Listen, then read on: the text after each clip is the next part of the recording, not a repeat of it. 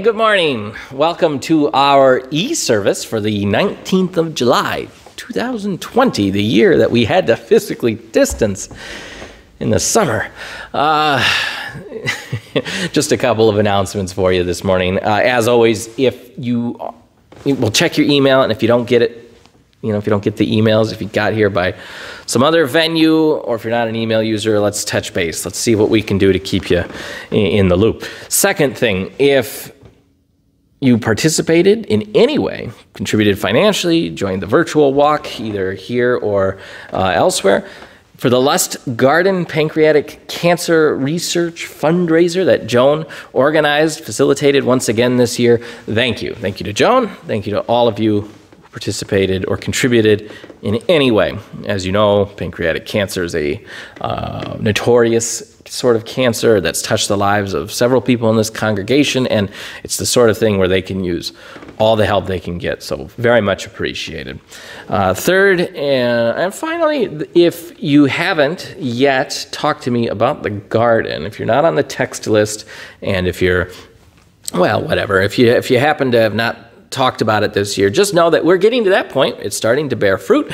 It's going to start needing attention on the a little more regular because of uh, gathering vegetables, picking vegetables, and delivering them. Uh, and we've got a few people, of course, who have been tending to these sorts of things so far.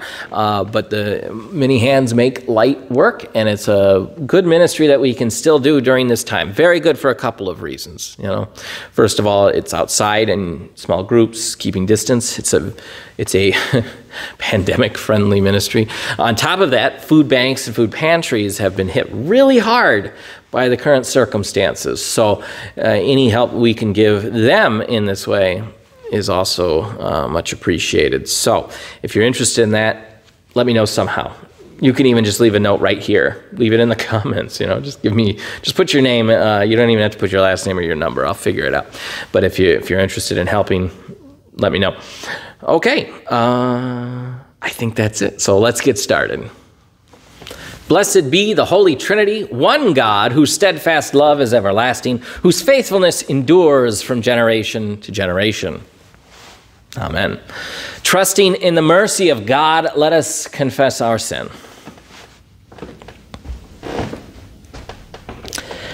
Reconciling God, we confess that we do not trust your abundance, and we deny your presence in our lives.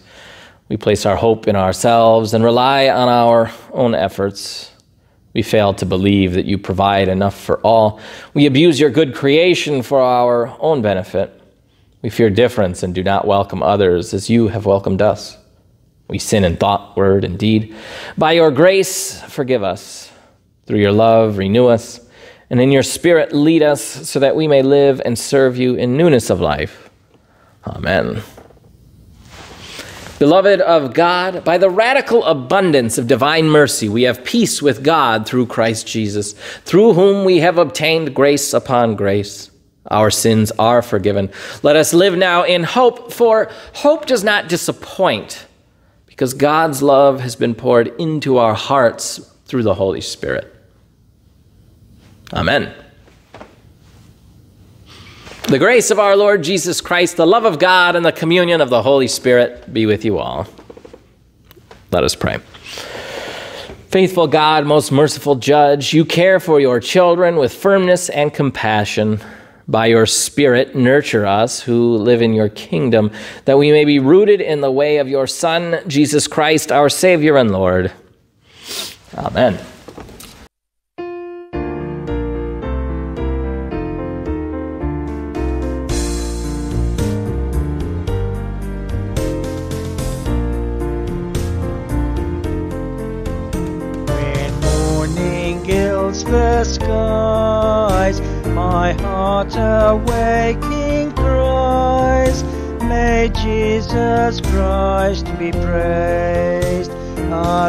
At work and prayer. To Jesus I repair, may Jesus Christ be praised the sacred Minster bell, it peals o'er hill and dell. May Jesus Christ be praised. Oh, hark to what it sings as joyously it rings. May Jesus Christ be praised. In heaven's eternal bliss, the loveliest strain. May Jesus Christ be praised. Let air and sea and sky from depths to heights reply. May Jesus Christ be praised. Be this while life is mine, my canticle divine. May Jesus Christ be praised. Be this the eternal song through all the ages on. May Jesus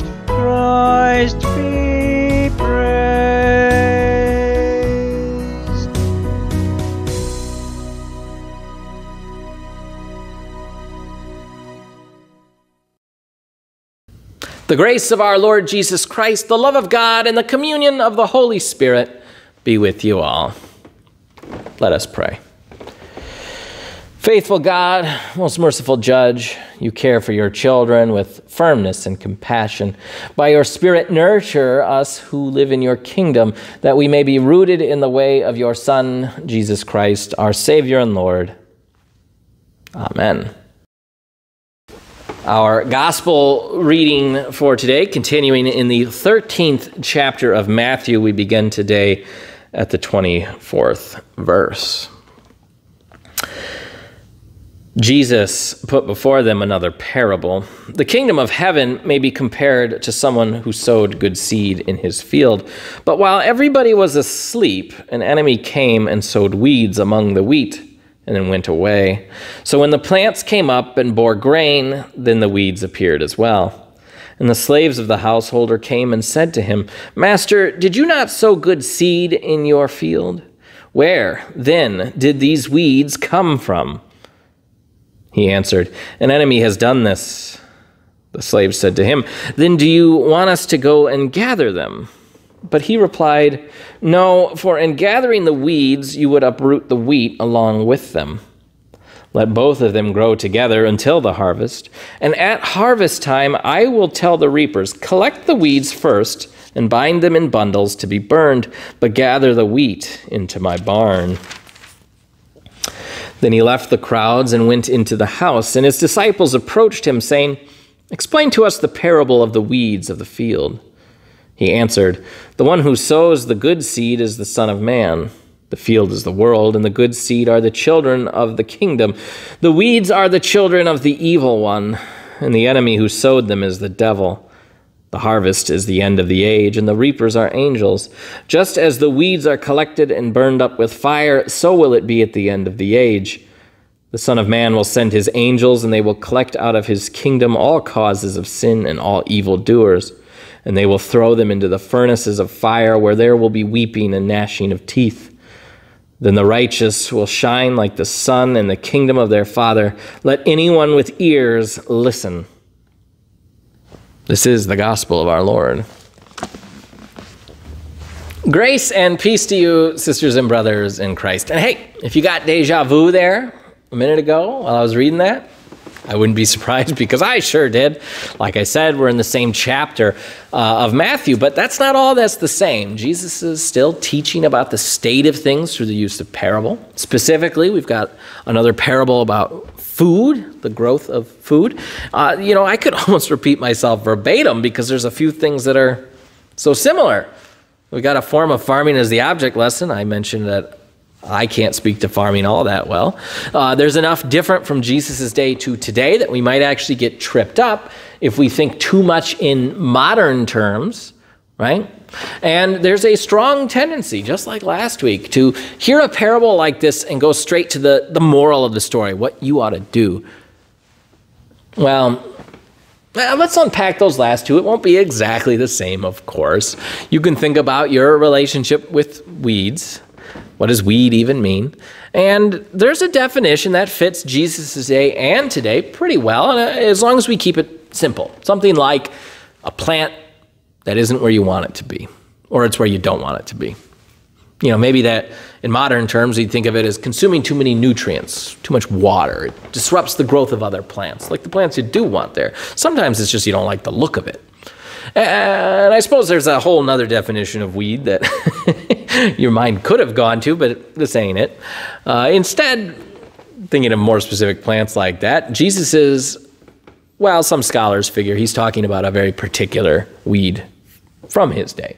And it was uh, particularly obnoxious because it looked so much like wheat. It would grow with it. Like the situation he's describing is one apparently they were familiar with because this weed would grow up, and by the time you could tell it wasn't wheat, it was too late. Tearing it out, even carefully by hand, might mean ripping the roots out of the wheat.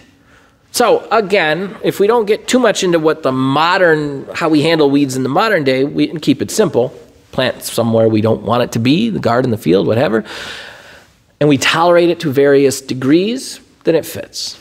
So no, no big problem there. Now the second possibility, which for my taste happens too often, is going straight to the moral of the story here. What is it Jesus wants you to do? How, what would Jesus do? How should you improve your life? Because with a parable like this, it can open up a whole can of worms. Who is the wheat? Who is the weed? Can weeds ever do good? In this life, can I be both weed and wheat? Is it whether I'm one or the other by the time I die? Uh, given too much emphasis, a parable like this, meant to teach about a few things over here, could slip into some troublesome problems over there. It would not be wise at this point to try to figure out who was placed here by the devil right? Humans have enough trouble getting along. We're really good at dividing ourselves into tribes and clans and camps. We don't need a parable like this to encourage us to do it any more than we already do, especially when it might imply that some people are irredeemable. Okay, so that's a long winded way of saying it's kind of similar to last week, kind of not. How we approach this text, um, we got to be a little careful because some ways are more helpful than others. But let's back it up another way that I really like to, I often do, you know, let's consider the Matthew as a whole, how Matthew uses these unique parables to talk about the end times and judgment day, records Jesus' parables, I should say, more than any other gospel writer. He's concerned with how the good and the bad will turn out when Jesus comes back to judge the world. Add to that, uh, Matthew's got a particular eye on the church. We can pretty safely assume Matthew is dealing with a community that has some wolves in sheep's clothing. There are people pretending to be Christians who are not. And this is quite early in the life of the church. So there's a chance Matthew is responding to the very first time someone claimed the name of Christ because it was socially advantageous, not because they believed it, not because they were committed. Now, that happens all the time nowadays in our culture. So maybe we should note how Matthew deals with it. Now, this is not a guarantee, but we can get some insight by approaching this parable, uh, assuming it fits the pattern of Matthew, right? It's, because it's unique to Matthew. It talks about Jesus returning and judging everyone into one group or the other.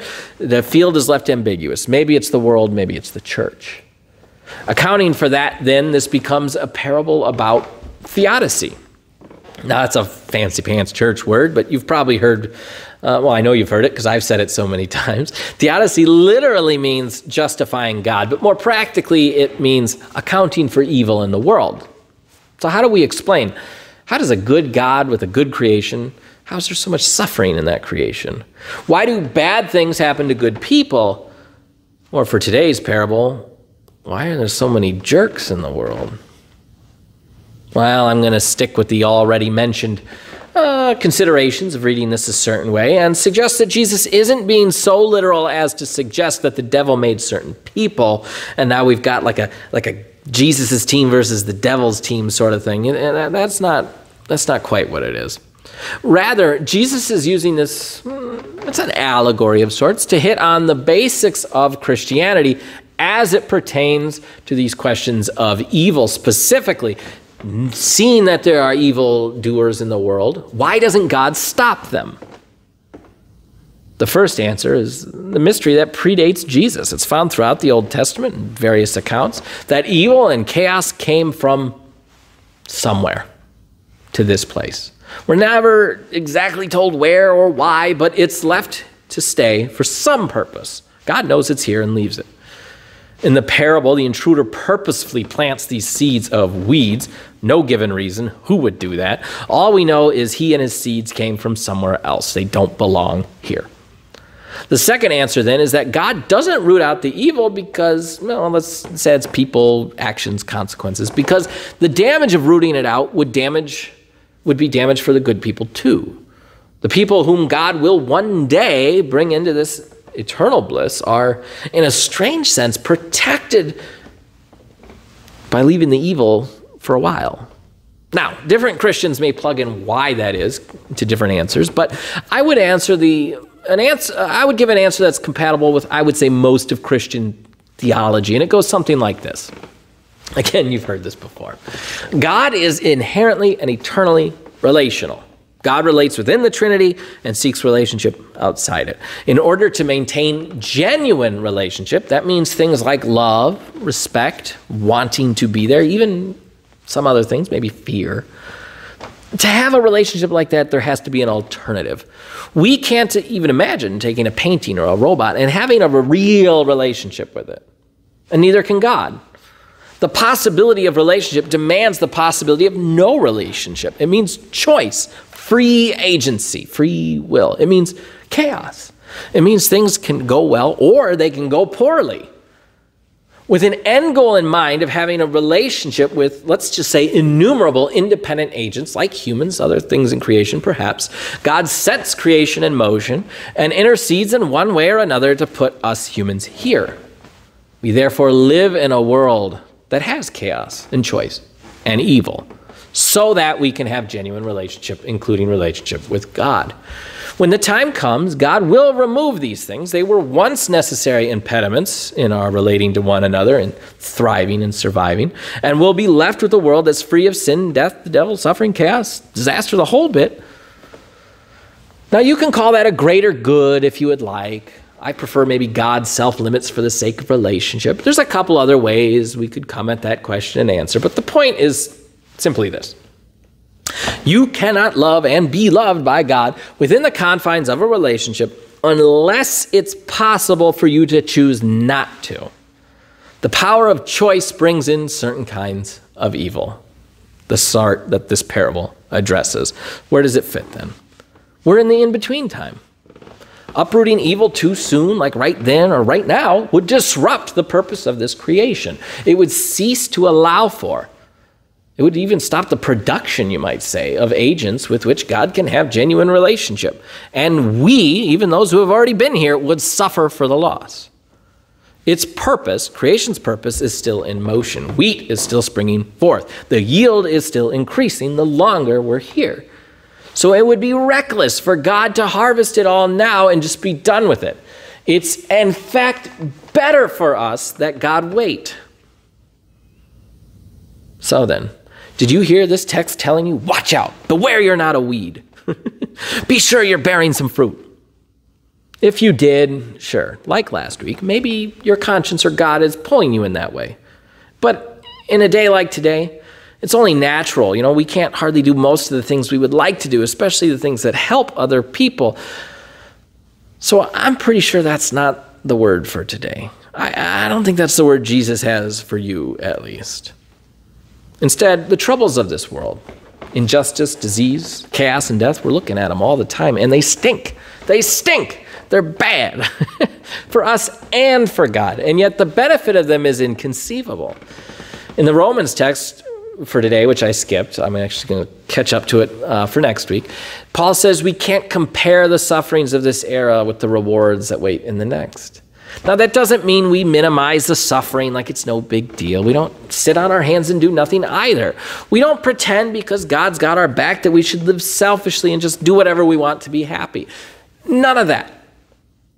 No, we just take the assurance That this field, be it God's church, God's world, this age that we live in, whatever it is, that it will come to an end when its purpose is met. And it will have been worth it. We just have to have waited a little longer.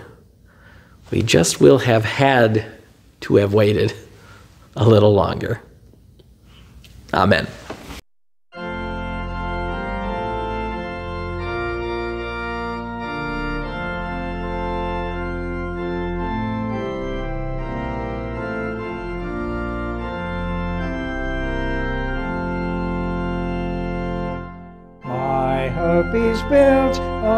Nothing less than Jesus' blood and righteousness.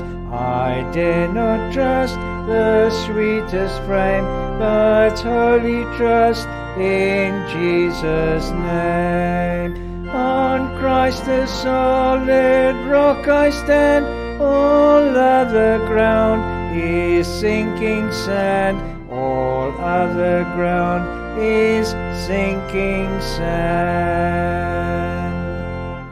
When darkness seems to hide his face, I rest on his unchanging grace. In every high and stormy gale, my anchor holds within the veil.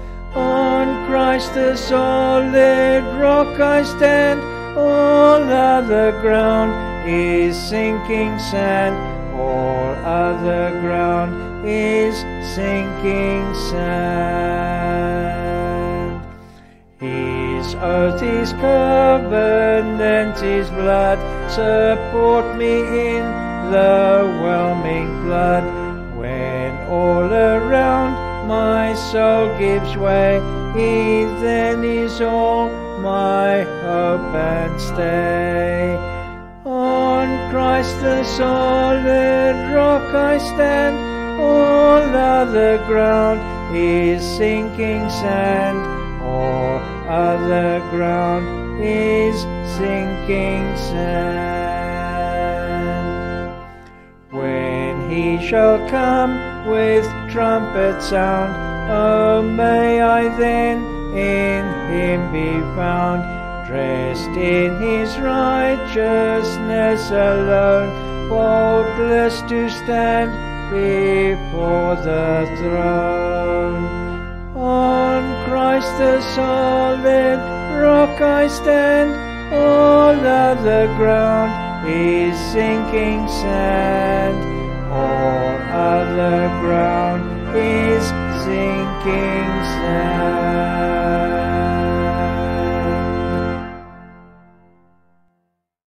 With that, I ask you to join me in confessing the faith of the church. I believe in God, the Father Almighty, creator of heaven and earth. I believe in Jesus Christ, his only Son, our Lord. He was conceived by the power of the Holy Spirit and born of the Virgin Mary. He suffered under Pontius Pilate, was crucified, died, and was buried. He descended into hell. On the third day, he rose again. He ascended into heaven and is seated at the right hand of the Father. He will come again to judge the living and the dead. I believe in the Holy Spirit, the Holy Catholic Church, the communion of saints, the forgiveness of sins, the resurrection of the body, and the life everlasting. Amen. Confident of your care and helped by the Holy Spirit, we pray for the church, the world, and all who are in need. God of the harvest, you sow good seed of the gospel of Jesus Christ into your field. Help your church throughout the world to be both diligent and patient, full of resolve and gentleness, that our witness may be faithful to your intentions. Lord, in your mercy, God of all space and time, your whole creation groans in labor pains, awaiting for the gift of new birth. Renew the earth, sky, and seas so that all your creation experiences freedom from the bondage of decay. Lord, in your mercy. God of the nations, teach us your ways that we may walk in your truth. Mend the fabric of the human family now torn apart by fearful and warring ways. And we pray that you would be with those who may be in harm's way as they uh, struggle and strive for peace. and justice. We pray that you be with John, Josh, Tyler, Jack, Robert, Matt, Nick, Morgan, and Dane. Lord, in your mercy. God of hope, you accompany those who suffer and are near to the brokenhearted. Open our hearts to your children who are lonely and abandoned, who feel trapped by despair, and all who suffer in any way. We pray for Jerry, Joe, and Jim, for Robin, Linda, and Gary, for John, Gail, and Lisa, for Joni, Larry, Cindy, John, and Melody, for Grace, Danny, and Stephanie, for Bailey, Connie, and Kendall, for Val, Jean, and Horst, for Barbara, Richard, Serenata, Ann, and Larry, for Carol, Jean, Elizabeth, Mary, and Jean, for Edie, Mary, Frank, Joyce, and Leona, for Amy, Dean, Andrea, Dennis, Ida, Mabel, and Doug. Lord, in your mercy, God of the seasons, in the midst of summer, give us refreshment, renewal, and new opportunities. We pray for the safety of those who travel. We pray for those who cannot take the rest they need. And we pray for those who uh, continue to work on the metaphorical front lines of the pandemic. Lord, in your mercy, God of life, those who have died in you shine like the sun in your endless kingdom. We remember with thanksgiving the saints of all times and places and saints close to us. We remember again, especially Iva Bartel. We pray that you be with her family, give them comfort and peace, and gather us with her and all the rest on the day of salvation. Lord, in your mercy. It's in the certain hope that nothing can separate us from your love, that we offer these prayers to you through Jesus Christ our Lord, who first taught us to pray. Our Father, who art in heaven, hallowed be thy name. Thy kingdom come, thy will be done, on earth as it is in heaven. Give us this day our daily bread, and forgive us our trespasses as we forgive those who trespass against us. And lead us not into temptation, but deliver us from evil. For thine is the kingdom, the power, and the glory, forever and ever. Amen. The peace of the Lord be with you always. Uh, just go ahead and take a moment if you'd like to share a, a, a greeting in the chat box. Comments, text messages, whatever you'd like to do. I have to say, I've been. Um, give you a little insight behind the curtain, and I don't know how this will work when we get to a more transitional period, but I've been kind of managing the ability to call in. It's the same software platform we're using for our virtual meetings and for virtual coffee hour. People can call in who don't have access to the internet, don't have a computer at home, for example, uh, to hear the service if they should so choose. And that requires a little bit of manual intervention. I've I've thought of some ways to maybe minimize that. Oh, may pursue that, but as it is for the moment, that's why I've not been in the chat box personally. So, uh, right now, if you're sending messages, I may not even be seeing them, and that's kind of a sad thought. But each other, you can see each other's messages. So, I hope you're having a peaceful week and you're staying safe and what have you. With that, as a reminder, uh, offerings are still coming in, mostly by mail, mostly directly to the financial secretary.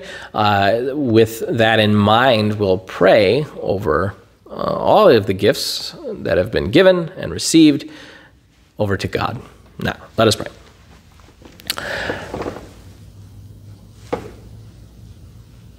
God of goodness and growth, all creation is yours, and your faithfulness is as firm as the heavens. Nourish us with your gifts that we might proclaim your steadfast love in our communities and in the world. Through Jesus Christ, our strength and our song. Amen. With that, as you go safely and responsibly into your home, please know that neither death nor life, nor angels, nor rulers, nor things present, nor things to come, nor powers, nor heights, nor depth, nor anything else in all of creation will be able to separate us from the love of God in Christ Jesus. God, the Creator, Jesus, the Christ, and the Holy Spirit, the Comforter, bless you and keep you in eternal love. Amen. Go in peace. Christ is with you. Thanks be to God.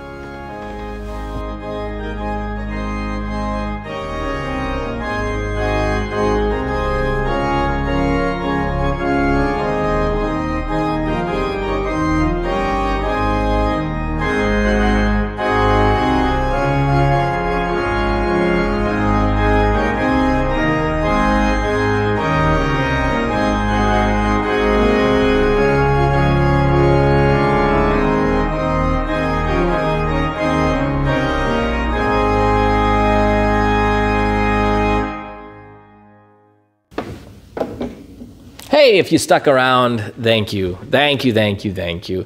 I sure do appreciate you connecting in this way. I know others do as well. It's been a difficult, long road, um, but we're going to get through it. This is just a, a temporary, temporary setback. So, however it's going, however you're doing, I hope to connect with you again, one way or another, real soon.